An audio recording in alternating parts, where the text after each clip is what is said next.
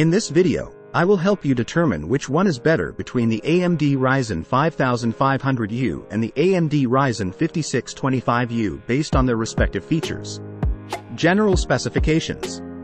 Both the 5500U and 5625U processors come from the same vendor, AMD. The Ryzen 5625U is newer than the 5500U, and both of them support integrated GPUs.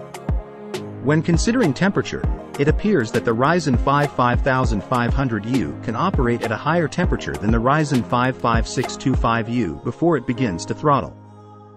Both of these processors are manufactured using a 7nm process. CPU performance specifications. Both of these processors have the same number of cores and threads, but the 5625U has higher base and turbo boost frequencies compared to the 5500U. Memory support specifications.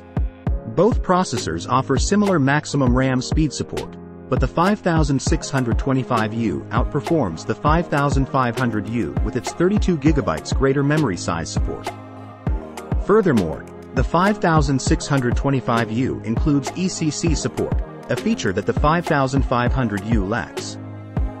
ECC support is valuable for its ability to detect and correct errors in processed data, making it particularly advantageous for critical systems. Both processors provide support for PCI Express version 3.0, a versatile interface utilized for various devices such as graphics cards, network cards, storage devices, and more. However, the 5625U AMD processor boasts an additional 4 PCI Express lanes compared to the 5500U.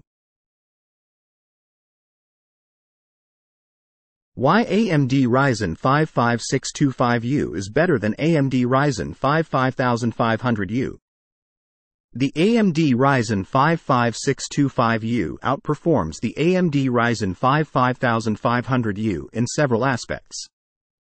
It features a higher base clock speed, a superior boost clock speed, greater RAM support, and a larger L3 cache. Additionally, it's worth noting that the 5625U is a more recent release compared to the 5500U.